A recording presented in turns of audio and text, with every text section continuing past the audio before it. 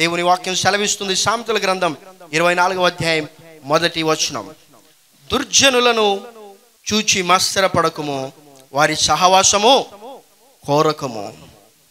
వీరితో ఎందుకు సహవాసం చేయకూడదని వారి సహవాసం కోరకూడదని దేవుని వాక్యము తెలియజేస్తుందంటే పౌలు తిమోతికి రాస్తూ చూడండి రెండవ పత్రిక మూడవ అధ్యాయం పదమూడవ వచనంలో ఏమంటున్నాడంటే అయితే దుర్జనులను వంచకులను ఇతరులను మోసపరచుచు తామును మోసపోవచ్చు అంతకంతకు చెడిపోవుతురు సో ఒకవేళ నువ్వు వారితో సహవాసం చేస్తే ఏమవుతావంటే నిన్ను నీవు మోసం చేసుకుంటూ ఉన్నావు అన్న విషయాన్ని కూడా మర్చిపోయి నీవు చెడిపోయేటువంటి ప్రమాదం ఉంది.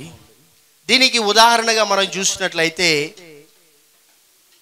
దేవుని యందు భయభక్తులు కలిగినటువంటి యూదా రాజు అయినటువంటి యహోషా పాత అన్నటువంటి ఒక రాజు ఉన్నాడు.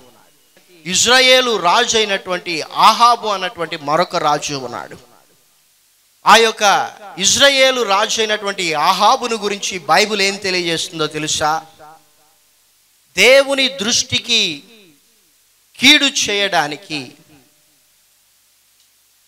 తన్ను తాను అమ్ముకున్నటువంటి ఒక దుర్మార్గుడు అని ఈ యొక్క రాజు అయినటువంటి ఆహాబును గురించి వాక్యం తెలియజేస్తోంది.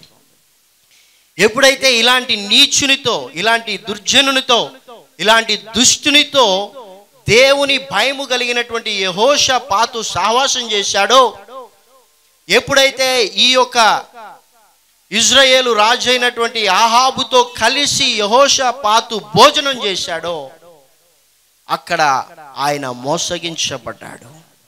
అక్కడ ఏం జరిగిందంటే ఈ యొక్క ఇజ్రాయేలు రాజు అయినటువంటి ఆహాబు చక్కగా మంచి గొర్రెలను కోయించి ఆయన ఒక విందు చేశాడు. ఆ యొక్క విందులోనికి యహోషపాత్ వచ్చి కూర్చున్నాడు. భోంచేస్తూ ఉన్నాడు. భోంచేస్తూ ఉన్నప్పుడు ఆయన ఒక రిక్వెస్ట్ అడిగాడు. ఇస్రాయేలు రాజు అయినటువంటి ఆహాబు ఏంటంటే ఇదిగో నాకు శత్రువులు ఉన్నారు సిరియనులు. వారు నా రాజ్యంలో ఒక భాగాన్ని ఆక్రమించుకున్నారు. ఒకవేళ నీవు నాతో చెయ్యి కలిపితే మనం వెళ్ళి యుద్ధం చేస్తామన్నప్పుడు ఈ యొక్క యూదా రాజు అయినటువంటి యహోషపాతు నేను దేవుణ్ణి అడగాలని అడిగాడు. దేవుని ప్రవక్తను పిలిపించమన్నాడు. పిలిపించారు. దేవుని ప్రవక్త అన్నాడు మీరు యుద్ధానికి వెళ్ళకూడదు. యుద్ధానికి వెళితే మీరు ఓడిపోతారు. కాబట్టి యుద్ధానికి వెళ్ళద్దని దేవుని ప్రవక్త స్పష్టంగా తెలియజేసినప్పటికీ ఎప్పుడైతే యహోషపాతు ఆ దుర్జనుడైనటువంటి ఇజ్రాయేలు రాజు అయినటువంటి ఆహాబుతో సహవాసం చేశాడో. దేవుడు వద్దన్న నో చెప్పకుండా యుద్ధానికి వెళ్ళాడు.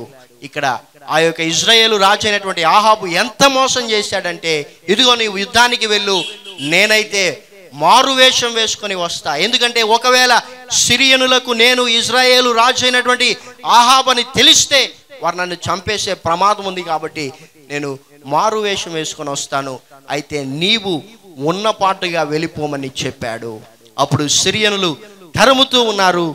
వారు అనుకున్నారు ఈ యొక్క యహోష పాతే ఇజ్రాయేలు రాజు అయినటువంటి ఆహాబని. అప్పుడు యహోష పాతు దేవునికి మొరపెట్టాడని ప్రభువా సహాయం చేయి. ఈ యుద్ధంలో నేను చనిపోకుండా కృప చూపించు. పొరపాటు చేశాను. నీకు వ్యతిరేకమైనటువంటి ఆహాబుతో సహవాసం చేశాను. క్షమించుమని ప్రార్థన చేసినప్పుడు దేవుడు యహోషపాతును రక్షించాడు. దాని తర్వాత ఆహాబు హత్య చేయబడినట్లుగా ఆ యుద్ధంలో మనకు కనిపిస్తుంది. కాబట్టి మన జీవితాల్లో ఎవరితో మనం మాట్లాడుతూ ఉన్నాం? మాటలే కదా అని నువ్వు మోసపోవద్దు. సంసోను కేవలం ఆ యొక్క తిమ్నాతులోని ఆ స్త్రీతో మాట్లాడాడు. ఆ మాటలు ప్రేమలోనికి ఆయన్ని దించాయి. యహోషపాత్ అనుకున్నాడు కేవలం భోజనమే కదా అని పర్లేదని కలిసి భోంచేద్దాం అనుకున్నాడు. కలిసి భోంచేశాడు.